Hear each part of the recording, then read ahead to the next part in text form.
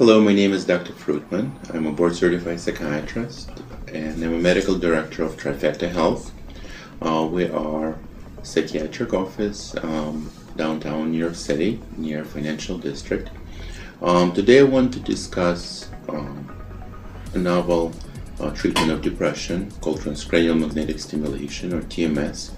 And I want to compare it to ECT, electroconvulsive shock therapy. ECT is a very old technique of treating depression. Um, it's been around uh, since 1930s, and certainly even before a medication for treatment of depression were created.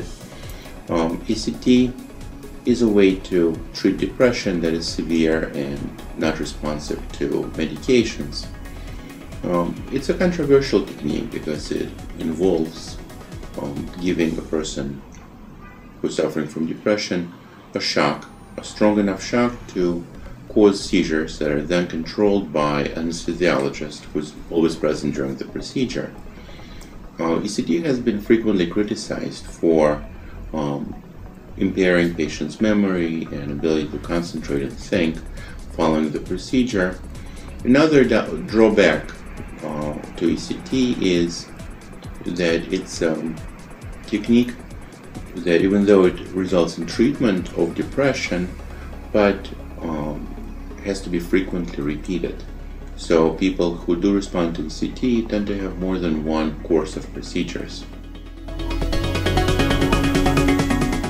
Compared to ECT, TMS, transcranial magnetic stimulation, is a rather new procedure.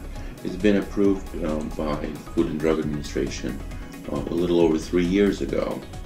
It's approved for treating depression that did not respond to medications. The difference is TMS does not cause seizures and um, does not use high uh, voltage electricity.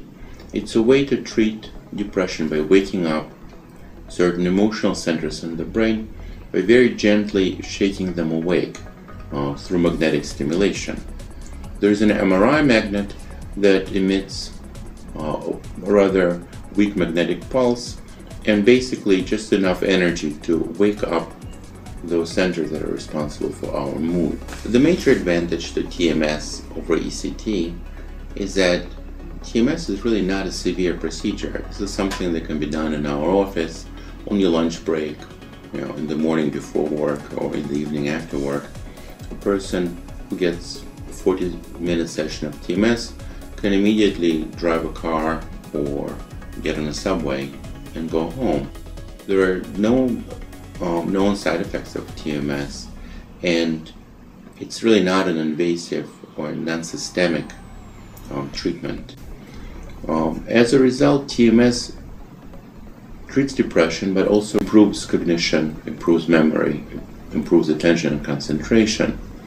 There's really no downside to trying TMS.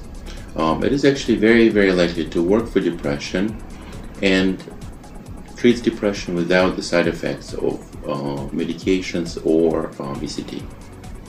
So come to see us at Trifecta I'll be more than happy to discuss TMS as a treatment option for depression in my office.